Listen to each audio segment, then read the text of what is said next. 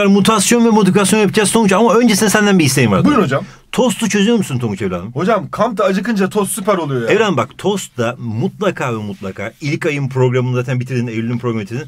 İlk başta videolarımızı izliyorduk. Sonrasında ne yapıyorduk? Sorularımızı çözüyorduk değil mi? Dolayısıyla kampla uyumlu bir şekilde ilerleyen bir tost hazırladık sana. Burada daha kapsamlı sorular var. Türkçe'de, matematikte daha Çok adımlı kapsamlı. sorular mı hocam? Çok adımlı sorular, sözel, sayısal analiz soruları var. Aynı zamanda e, fende de daha çok deney soruları ve gerçek yaşam problemleri karşına çıkacak. Dolayısıyla bunu mutlaka çözmeye çalış ve temel orta sınav tarzıyla sınava çok iyi bir şekilde hazırlanmış ol Tonguç. Ve aynı zamanda bunu Eko kitap hazırladık ve sadece Tonguç kırtasiyelerinde bulabilirsin. Eko kitap olduğu için daha uygun fiyatı biliyorsun kitap fiyatları uçuk şu anda ama senin için bu gerçekten de ilaç gibi gelecek Sınavı ve sınava edeceğim. sınava gerçekten de çok iyi hazırlanabileceksin diyoruz ve hemen geçiyoruz. Mutasyon ve modifikasyon deyince beynin sulanıyor mu Tonguç benim?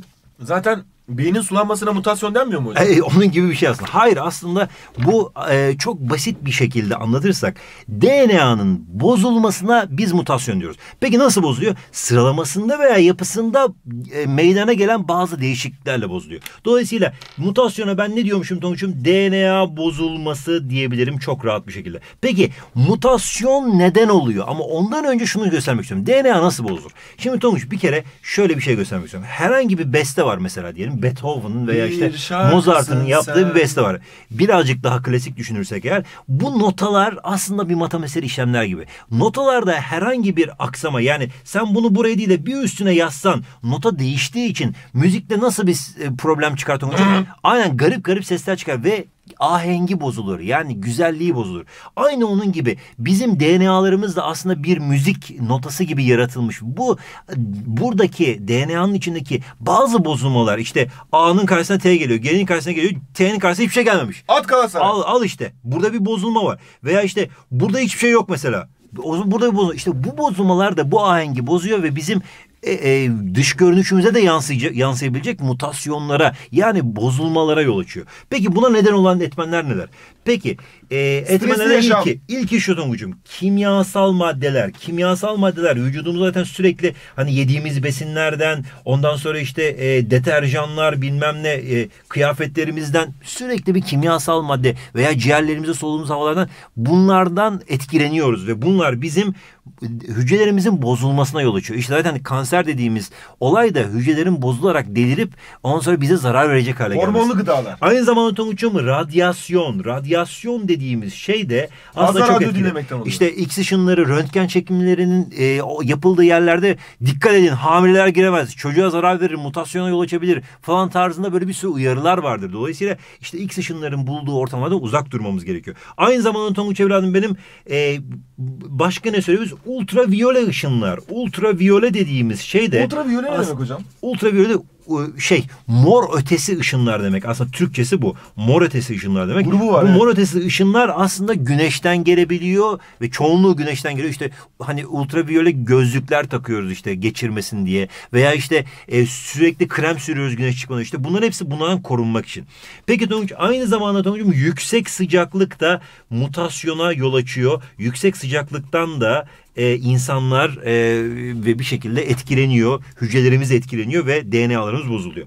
Mesela burada bir civcivimiz var. E, ne ne ne diyebilir? Cici çıkacak, kuş çıkacak. Ha, başıma gelmeyen kalmadı. Genotipim değişti. Genotip ne demekti hatırlıyor musun Tonguç'um? Genotip bir de fenotip vardı hocam onu hatırlıyorum. Aynen genotipte değiş, genotip değişimi demek aslında gen yapım değişti. Yani DNA'm değişti diyor aslında. Bunların hepsi aslında böyle bir mutasyona yol açabiliyor diyoruz. Peki demin de söylediğimiz gibi bir beslenin içinde nota yanlış, eksik veya fazla yazılımda yanlış ses çıkıyor dedik. Tonguç mesela şurada bir mutasyon var dikkat edin. A'nın karşısında T gene yok. bunlar normal. Olabilir. Ama burada bir anormallik var. İşte bu anormallik e, bizim için bir mutasyona denk geliyor. Peki bir de şurada var Tonguç'um. İki tane karşı karşıya gelen ikisi de yok. Eyvah. İkisi de olmadığı zaman bu da bir mutasyona yol açıyor. Bak bunu mutasyon A diyelim buna mutasyon B diyelim Tonguç. Mutasyon A ile mutasyon B arasındaki temel fark ne biliyor musun? Ben bunun karşısındakini bildiğim için bunun karşısına A geleceğini bilip ben bu mutasyonu onarabilir miyim Tonguç Evren benim? Evet. Süper. O zaman bu mutasyon A onarılır. Onarılabilir diyorum. Ama bu mutasyon B'de ben bunun karşısına geleceğini biliyor muyum Tonguç Evren? Hayır. Bilmiyorum. Dolayısıyla buna biz onarılamaz mutasyon diyoruz. Dolayısıyla mutasyonları biz onarılı ve onarılamaz diye ikiye ayırıyoruz. O zaman diyoruz ki DNA'nın kendi yapısında her iki zincirde karşılıklı ge- e, gelen, meydana gelen mutasyonlar onarılamaz diyoruz. Onarılamaz mutasyon sıfırına sok- sokuyoruz. Ben nerede yanlış yaptım? Aynen öyle. Sen de nerede yanlış yaptın Bunlar diye yapmıştım. şarkılar söylüyorsun şimdi. Mutasyonları bir de şu şekilde ikiye ayırıyoruz. Bir kalıtsal bir de kalıtsal olmayan mutasyonlar var. Eğer Tonguç'um üreme ana hücrelerinde olursa yani sperm veya yumurta ana hücresinde olursa bu çocuklara direkt geçeceği için bunlar kalıtsal mutasyon sıfatına giriyor. Veya vücut hücrelerinde olursa Tonguç evladım bunlarsa kalıtsal olmayan mutasyon sıfatına giriyor. Mesela mutasyonlara birkaç tane örnek vermek istiyorum sana. Mesela Van kedisi. Van kedisinin gözlerini gördün mü Tonguç evladım benim? Evet bir gözü sarı bir gözü lacivert. Ay, Hayır işte mavi ve yeşil olur genellikle pardon. bir göz e, mavi bir göz. İşte bu mesela mutasyonla olmuş bir şey.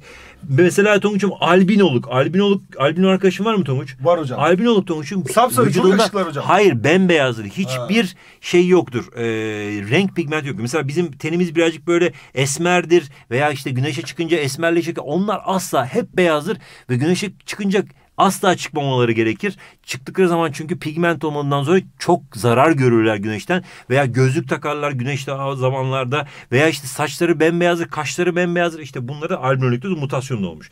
Veya Tonguç'um e, m- ne diyebiliriz başka? Down sendromu. Down sendromu dediğimiz şey de ülkemizde çok yaygın.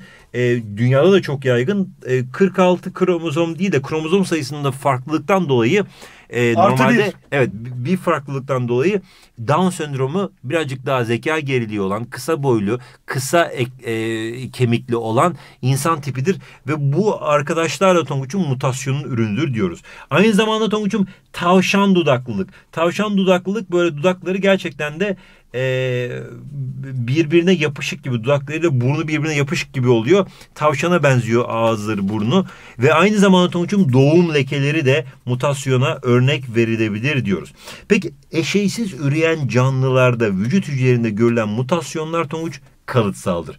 Neden? Çünkü biz eşeyli ürediğimiz için üreme ana hücresinde görmemiz gerekiyor. Üreme hücre, ana hücremiz çocuğa geçiyor çünkü. Ama eşeğsiz üreyen canlılarda vücut hücresinde gözükse de hemen mutasyon çocuklara geçebilir diyoruz. Kalıtsal olmayan mut- mutasyonlar mesela burada mutasyon oldu. Bu çocuğuma geçmez ki. Ben buradan bir çocuğuma bir şey vermiyorum ki. Ben nereden veriyorum? Sperm ana hücremden veriyorum. Ee, benim eşim de yumurta ana hücresinden veriyor. Dolayısıyla onlarda olursa eğer kalıtsal olur yani çocuğa geçer diyoruz. Kalıtsal ne demekti? Çocuğa geçmesi demekti.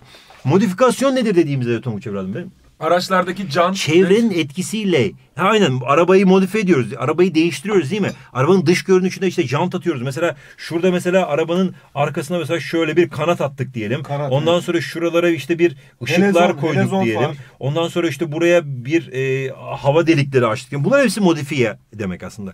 Çevrenin etkisiyle canlıların dış görünüşünde e, yani fenotipte bak fenotipte meydana gelen değişimlere biz modifikasyon diyoruz. Modifikasyon fenotiple alakalı. Mutasyon genotiple alakalı. Bak modifikasyona F var ya Tonguç'um. O yüzden aklına hemen F gelsin. F, F. İkisi de F olduğu F. için ya, modifikasyon fenotiple alakalı bunu unutmayalım. Peki Tonguç geldik mesela modifikasyona örnekler verelim. Halter yaparaktan Halter kas yapın. mesela senin buradan böyle kasların fırladı. Aynen Ondan öyle. sonra six pack yaptım burada diyelim mesela. Hop hop hop şöyle şöyle nasıl yapıyorsun evladım bunları ben şöyle bak six pack çizemiyorum bile nasıl yapacağım bilmiyorum. Ee, ondan sonra işte burada göğüs kasların oluştu falan. Bunlar hepsi de Tonguç'um çocuğuna geçer mi? Hayır geçmez. Çünkü modifikasyon kalıtsal değildir. Aman unutma Tonguç'um. Aynı zamanda e, mesela güneşte güneşte ne yaptın? Böyle esmerleştin, bronzlaştın. Ve bronzlaştığın zaman ne oluyor? Çocuğun bronz mu doğuyor? Hayır. Çocuğun yine beyaz tenli doğuyor. Sen neysen oluyor. Dolayısıyla bunlar hepsi aslında çevre etkisiyle, güneşin etkisiyle, işte çalışma, fitness etkisiyle senin vücudunda meydana gelen yani fenotipinde dış görünüşünde meydana gelen değişiklikler görüyoruz. Modifikasyon deneylerine baktığımız zaman Himalaya tavşanı gerçekten çok önemli bir yere sahip. Himalaya tavşanında şöyle bir deney yapmışlar. Beyaz bir tavşan normalde. Güzel. Ama sonrasında beyaz tavşanın şurasını tıraş etmişler tıraş makinesiyle. Gerçekten vahşet. Gerçekten böyle bir şey olmaz. Tavşanı niye insan tıraş eder? Gerçekten işsiz. İnsan değiliz hocam. Ondan sonra Tonguç'um üzerine buz basmışlar. Yetmezmiş gibi o çıplak bedenine buz basmışlar. Vahşet. Buz bastıktan sonra siyah kıllar çıkmaya başlamış. Ve demişler ki o Hannes ben dış etkilerle adamın kıl rengini değiştirebilecek kapasiteye sahibim. Demek ki ben dış görünüşü yani fenotipi dış etkenlerle çevirdim o zaman bu bir modifikasyondur demişler. Geldik çuha çiçeğine. Çuha çiçeğinde de şöyle bir şey yapmışlar Tonguç'um. Eğer çuha çiçeğini 15-25 derece arasında yetiştirirlerse çocuğunu, çuha çiçeğinin çocuğunu bu çiçeğin kırmızı olduğunu görmüşler. Ama çuha çiçeğini 25-35 derece arasında yetiştirirlerse bu çiçeğin beyaz renkli olduğunu görmüşler. Ve buna demişler ki ya ben sıcaklığı değiştiren yani dış etkenleri değiştirerekten bu adamın fenotipini yani dış görünüşünü değiştirsem o zaman bu modifikasyondur demişler. Bu en önemli modifikasyon çiçeği. Tabi arılar da var buna. İşçi arı ve e, e, kraliçe arı da buna dahildir diyebiliyoruz. Tonguç özetin özetine gelirsek Yapalım mutasyon ve modifikasyon arasındaki farklar gerçekten çok önemli. Bir kere mutasyon genlerin yapısında görülen yani aslında şöyle bir şey diyelim genotipte görülen, görülen değişimler diyoruz. Modifikasyona baktığın zaman genlerin işleyişinde işleyişinde yapısında değil bak işleyişinde meydana gelen değişimler dolayısıyla fenotipte görülen değişimler diyoruz. Sonuç bunlar çok önemli. Geldik mutasyona neden olan etken ortadan kalkınca canlı eski haline geri dönemez. Çünkü artık mutasyon geçirmiştir Tonguç'um ama modifikasyon neden olan etken kalacak. Mesela sen kışın artık güneşlenemeyince ne yapıyorsun? Tekrar eski haline, eski beyazlığına dönüyorsun mesela. Veya işte e, fitness'ı bırakınca ne yapıyorsun? Kasların yine çöküyor gibi düşünebilirsin canlı eski haline geri döner. Ama mutasyonla DNA'n değiştiği için, genlerin değiştiği için artık dönemiyorsun. Peki Tonguç'um bir de son o zaman üreme hücrelerinde görülen e, görülürse mutasyonlar kalıtsaldır ama modifikasyonun hiçbirisi kalıtsal değil çocuğa aktarılmaz. Yani sen kas yaptın diye çocuğun kaslı olmaz. Sen bronzlaştın diye çocuğun bronzlaşmaz. Bronz doğmaz. O zaman garip olur zaten gerçekten. Dolayısıyla Tonguç'um sen şimdi kampımızı devam ettiriyorsun. Kampımızın 8 Ekim programında göre sen ne yaptın şu anda? E, Mutasyon modifikasyon. Videomuzu izledin. Sonrasında ne yapmalısın Tonguç'um? Test 11'i çözmelisin. Hemen sana test 11'i göstermek Bak mutasyon modifikasyon bu testi çöz. Lütfen çözemediğin soru olursa lütfen buradan okut ve e, çözümünü izle. Ve Tonguç aynı zamanda öncesinde e, çalışmalı mı? Öncesinde çalışman gerekiyordu aslında. Öncesinde çalışman e, gereken yer aslında 0'dan 8'e sayısalda 186 188'di. Keşke bunu daha önceden yapsaydın ama bir sonraki e, şeyin de e, konunun da lütfen çalışmasını daha önceden yap Tonguç evladım benim. Bak 186 187 mutasyon ve modifikasyonu Aa. aslında çalışman çok iyi olurdu. E, 188 189'u çalışsan çok iyi. Peki bir sonraki için ne çalışmalısın Tonguç'um? Adaptasyonu. Yani 190 ve 191'i mutlaka çalış ki öncesinde hazır gel diyorum karşıma ve toz suda çözmeyi ihmal etme diyorum. En son artık başka sınav bir şey mi? Çünkü gerçekten sınav tarzı soruları içeren çok eşsiz bir e, kaynak hazırladım sana. Dolayısıyla Ustalık eseriniz mi hocam? E, saçmalama ne alakası var? Ödüllü sorumuzu yap yorumlara Hayır hocam, yolla. bu geçen hafta ödüllü Aa, Evet bu geçen hafta ödüllü Şimdi çözelim bakalım. Farelerde siyah kıl özelliği kahverengi kıl özelliğine baskındır demiş. Buna göre genotipi melez olan siyah fare. Hmm. Siyah kıl büyük aymış, kahverengi kız küçük aymış. Genotip, genotipi melez olan siyah fare olsa büyük A ile küçük A. Melez dediğim şey ikisi karışacaktı. Peki e, siyah fare aşağıdakinden hangisinde doğru verilmiş demiş. E, dolayısıyla budur cevabımız diyoruz. Çünkü böyle bir şey olmalı zaten iki tane olması gerekiyor. Bu e, saf döldür, bu da saf döldür. Saf döl baskın, saf döl çekiliktir. Bu ise melezdir diyoruz ve ödüllü sorumuzu yaptığımız yorumlara yolla. Hadi bakalım evladım.